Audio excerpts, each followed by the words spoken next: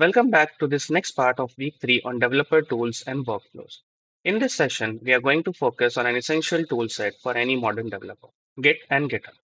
These tools are fundamental in the world of software development, not just for managing your own work, but also for collaborating with others on small and large projects alike. By the end of these sessions, you will clearly understand what Git is, why developers across the world rely on it, and how platforms like GitHub or GitLab enable collaboration in a distributed development environment. I will also walk you through the basic Git workflow so you will know how exactly to start using Git in your own projects. So let's begin with the basics. What exactly is Git? Git is a version control system. Simply put, a version control system is a tool that helps developer track changes made to the files over time. With Git, you can save versions of your of your work, go back and revert changes if something breaks, and collaborate with others without worrying about overwriting each other's work. Unlike some tools that require a connection to the central server, Git works locally on your machine. It quietly keeps track of, of the history of every change in your project directory, allowing you to manage your code with confidence. Now, this often leads to some confusion. What is the difference between Git and GitHub? Git is the underlying tool, the actual version control system that keeps track of changes to your files on your local machine. It helps you manage the history of your code, work on new features without disrupting the main code base, and safely experiment with changes. GitHub, on the other hand, is a platform that hosts your Git repositories in the cloud. GitHub and also GitLab add collaboration features on top of Git, such as pull requests, issue tracking, continuous integration, and deployment tools. Think of it this way Git is a tool you use on your machine, and GitHub or GitLab are the places where you share your work with others and collaborate as a team. GitHub is widely used across the industry, while GitLab is also popular, especially when it, teams prefer self hosted solutions. Now that we understand what Git and GitHub are, let's go through the basic Git workflow. When you start a new project and want to keep a track of it using Git, you begin by initializing a Git repository. This is done with the command git init. Running this command in your project directory creates a hidden .git folder. This hidden folder is where Git stores all the information about the history of your project, or your commits, branches, and other versioning data. Once your repository is initialized, you can check the status of your repository project at any time using git status. This command shows the current state of your working directory and staging area. It tells you which files are untracked, which ones have changes that have been staged, and which ones are staged and ready to be committed. When you make changes to the files and want Git to track those, you use git add command. This moves your changes into the staging area, preparing them to be committed. You can specify individual files or simply use a period to add all the changes in the current directory. Once your changes are staged, the next step is to commit them. Using git commit, you create a snapshot of your project at that point in time. Commits require a message, and this message should briefly describe what changes you have made. Over time, these commit messages form a useful history of your project's development. You can always look back at the history of your commits using git log command. This shows all your commits on a current branch, along with the details like commit message, the author, and a unique commit hash. This history allows you to trace when and why changes were made. After understanding these local operations, it is also important to learn how to configure Git with your identity. This is done with two simple commands.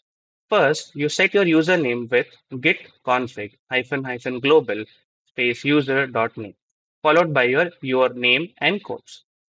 Then you set your email with git config hyphen hyphen global user.email. These settings ensure that every commit you make is correctly attributed to you. You can verify your settings at any time with git config hyphen hyphen list. These configurations are stored in a config file on your system and apply globally in all the repositories you work on. Next, let's explore the concept of remote repositories. While Git works locally, you often need to share your work with others or keep a backup in a cloud. This is where GitHub or GitLab comes in. You start by creating a new repository on one of these platforms. Then you link your local project to this repository using the command git remote add origin, followed by the repository's URL.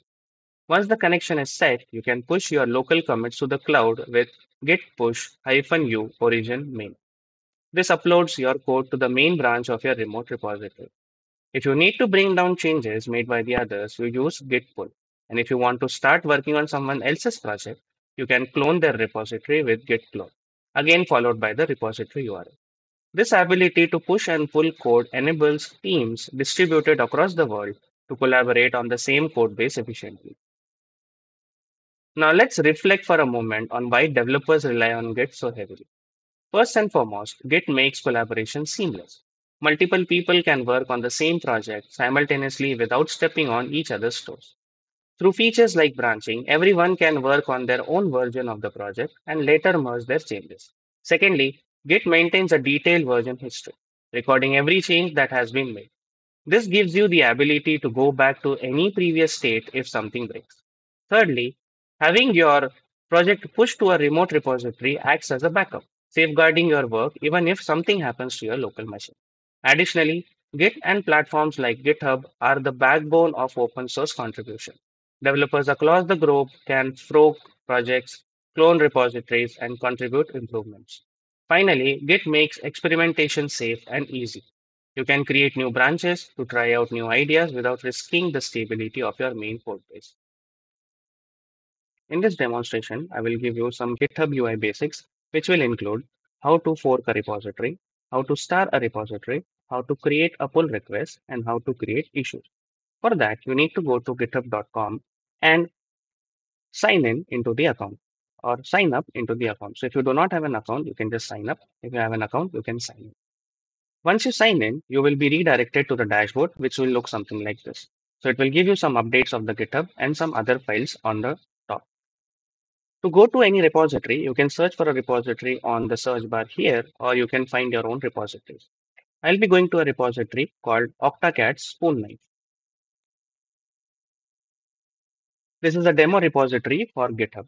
Now, what do you need to observe here is that on the top, on the top left, you will see the username and the name of the repository. Right at the bottom, you will see some important headers of GitHub UI. Things like code, issues, pull requests, actions, and so on. When you go to code, you will see the entire structure of the code along with the README files, which is written in the form of Markdown. The second part is the issues. The third part is the pull request and other things that we're going to cover today. So if you like the repository, if you find the repository interesting, what you can do is you can star it on the top right. If you click on the star, it will be starred. The number on the right will tell you how many stars this repository has. So this kind of gives you an idea of how popular the repository is. Now what we will do is fork this repository. Yeah, if you see right below, right before the star part, you will see this option to fork. When you fork a repository, what GitHub does is it creates a copy of your of the project as your own. So you will now be able to get this repository as your own with the name, your user ID slash the repository name. When you click on create fork, it will create a repository of your. So basically what it does is it creates a copy of your of the same repository which you can refer. Now the main objective of doing that is if you want to make some changes to this repository, you can then make the changes and then create pull requests for it to be merged to the main repository or the original repository. Now let's say if I want to make some change or suggest some change, I can just make the change and create a pull request. So let's say if I go to readme.md, let us open readme.md. On the right, we can edit this file by clicking on this pen button. And here on the top, we can just make a change. Let me see if I can zoom this. Yeah. So here I will just write a change. This is a change for demonstration.